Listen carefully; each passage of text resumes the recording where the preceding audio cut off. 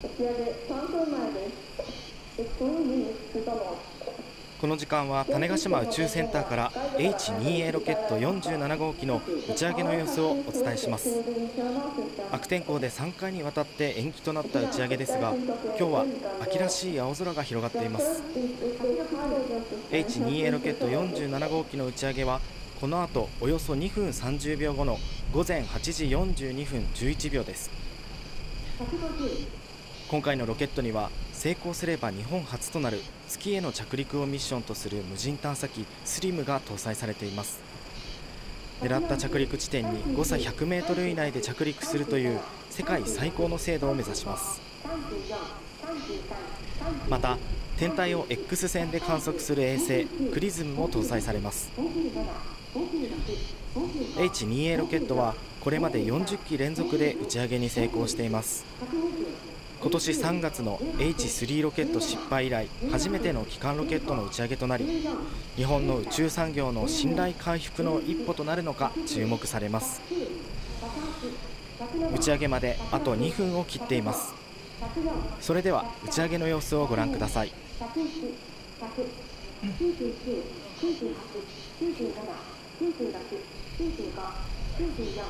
打ち上げまでおよそ1分30秒前です。89、88、87、87、85、84、2番、第三角に液体排泄準備完了。71、セカンドに入って、77、ハード76、72、73、74、液体排泄準備完了。69、68、67、66、65、64、63、打ち上げまで1分前です。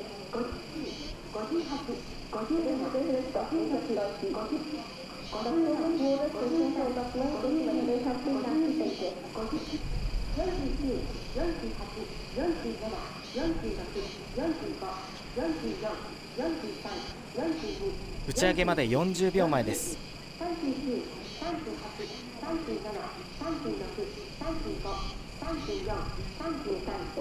打ち上げまで30秒切りました。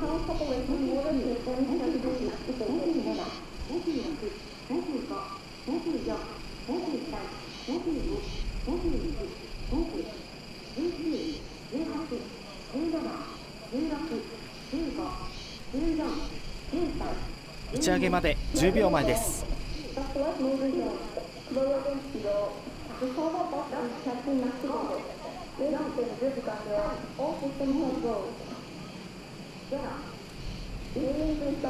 H2A ロケット47号機が今打ち上げられました。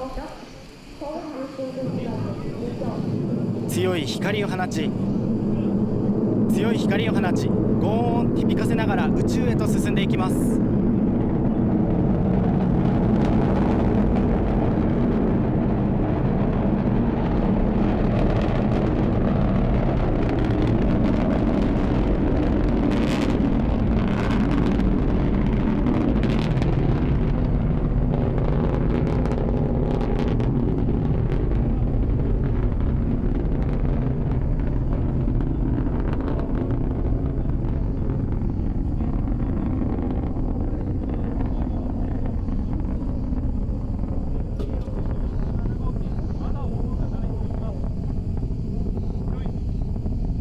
光が見えなくなってきました。H2A ロケット47号機が軌道を修正し、宇宙へ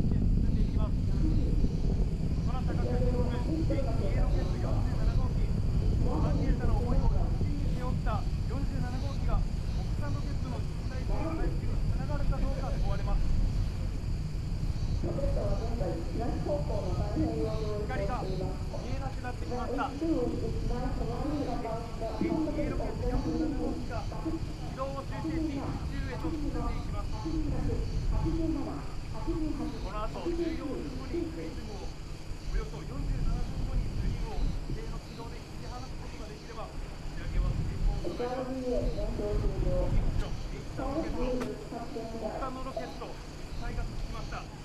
しかし、慎重に判断を下し、もう失敗できない、そうい打ち上げに臨んでいました。H2A ロケットが空へと消えていきました。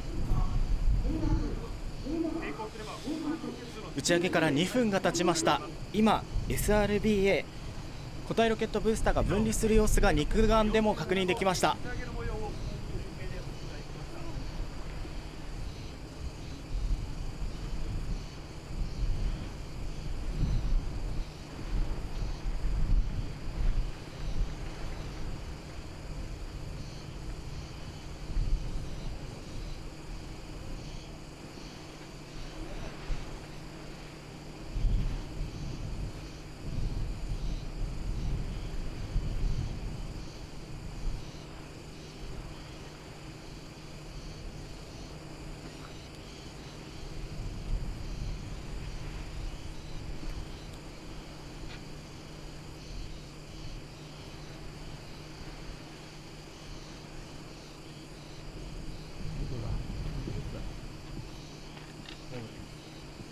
またね、またね。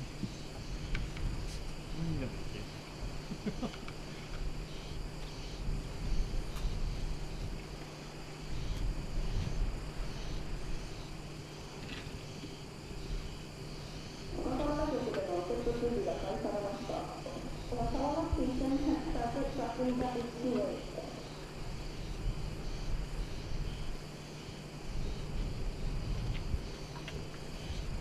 打ち上げから3分半が経過しました。2つ目の衛星が分離されるのが午前9時30分ごろここで成功。この衛星が分離されてから成功ということになります。これで H2A ロケット47号機打ち上げの様子をお送りしました。